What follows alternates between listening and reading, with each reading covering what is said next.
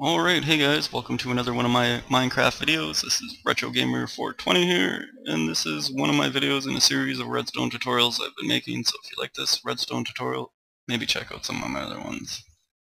And this is my design here for a redstone um, combination door. I know there's quite a few different ones floating around on the on YouTube, so this one here I came up with myself, and it's a little bit different from the other ones. I'm not sure if it's as compact, but it's pretty easy to make, and um, has the advantage of being able to add this on to infinity, um, infinity buttons. I'll show you how this works though. So let's just reset this. It's the reset switch, so resets the, the lock. So I got these all marked. So these are the ones to hit to get it right. So we hit this, that, and that. And you'll be able to change the combination yourself. So you go into the door. This is just my cheap little mock-up house. Automatically locks for you. Open the door and you'll be able to leave. Um, you could just use this as a room in your house or whatever you want to do with it. So, okay, let's take a look let's say somebody got this wrong. So just make sure it's reset. So say they were one off and they hit this one and they got every other one right. It's not going to open. So even if they keep trying it and trying it and trying it and trying it, it's not going to work until they reset it and get it 100% correct. Alright, so let's reset it.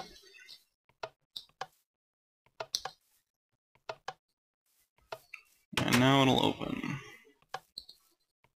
Alright guys, so I'm going to show you how to make this. I got this all color coded for you guys.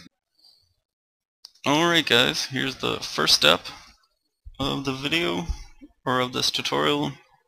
And we're going to be building some memory cells. Uh, right here would probably be the best spot to stop, pause the video and replicate it. And I'll go ahead and I'll tell you a bit what's going on here.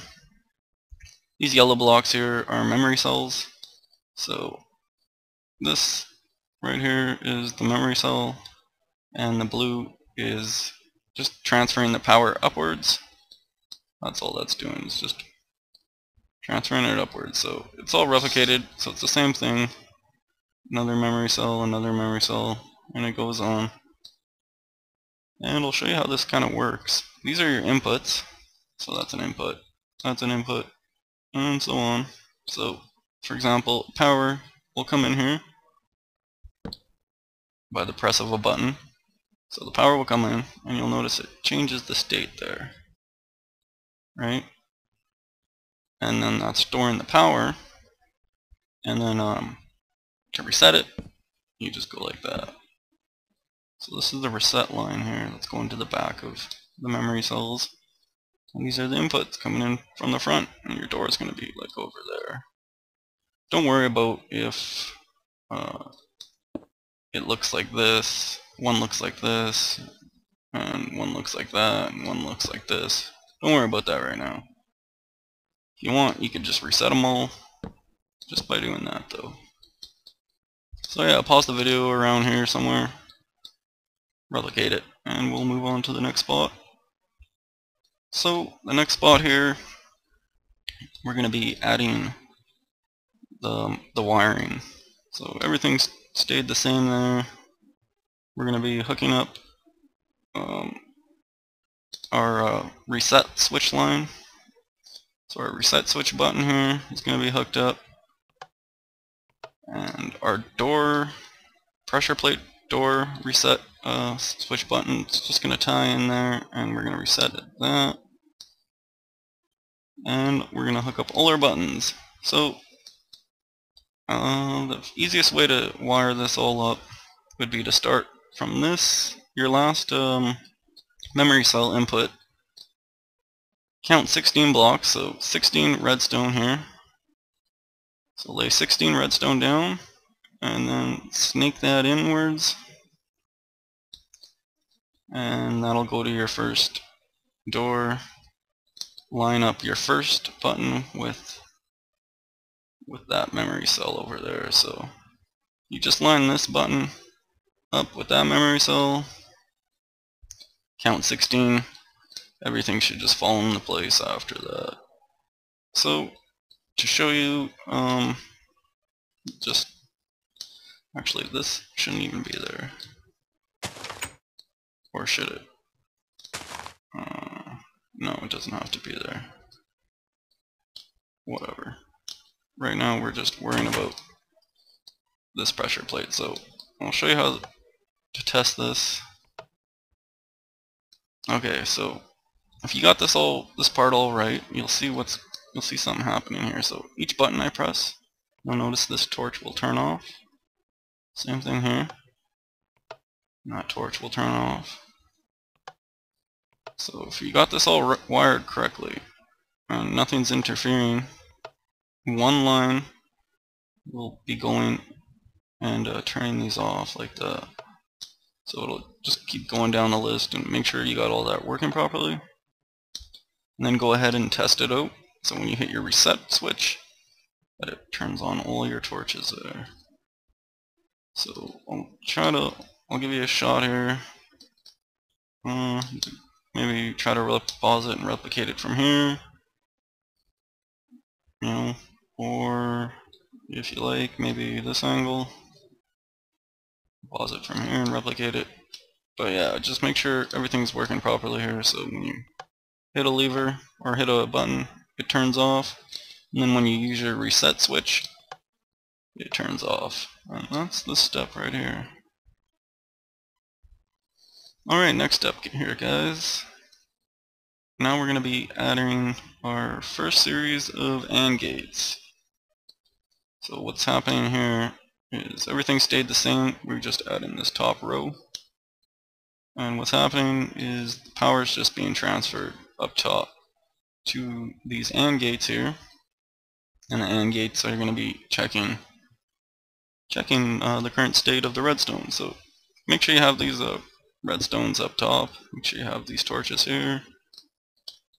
Um, maybe this would be a good spot to pause it somewhere around here or maybe something like that and go ahead and replicate that like so alright next spot here guys once you're done all that so over here we added our next uh, sets of AND gates that are going to do some more checks to yeah because it, it checks it once then it checks it again against another set of AND gates and then it does a final check here. And then it finally goes down and opens your door. So so you're going to be building one three more AND gates and you're going to be wiring it to the door but I'll, this would probably be a good spot to pause it and replicate these AND gates here. And if you just kind of go down. I'll show you how this works. All this is doing is just going under your um, reset switch. And it's going to this inverter to two inverters there which is opening your door. And your door should be open. You did this right. So everything should be working properly like how you how you tested it in the last one if you didn't test it so those switches should be kind of going off like that and you know you reset it and your door should open Okay. So this spot, by this time you almost have it all done, so if you got this far, here's the next spot right here. And the next spot is to actually um, put in your, your combination. So let's say you wanted your combination to be, let's say, this button right here, maybe or whatever, this button, and maybe this button, and maybe this button. So if you want that kind of a combination, all we got to do is, so I'll just count here, one, two, three, so it starts on the third one.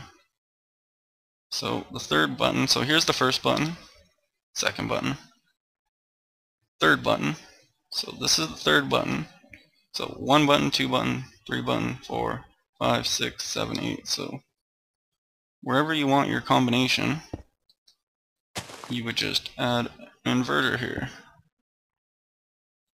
So I said three in a row. I mean, you can make it one button to get in, you can make it seven buttons, it's up to you. But this is three in a row, just to show you. So let's just reset it to make sure it's going to work here. And we'll hit these three in a row. And it should open. And there we go. So we'll just walk through to reset it.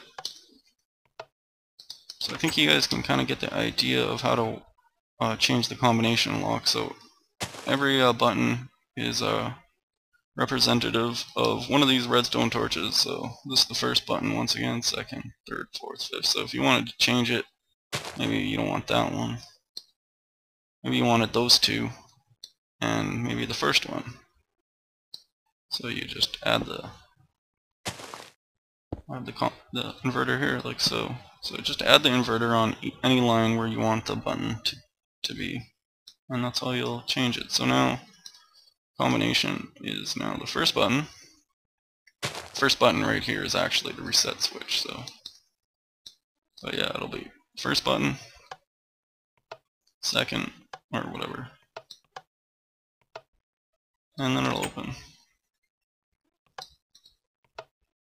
Alright guys, I think that sums up how to do this for you.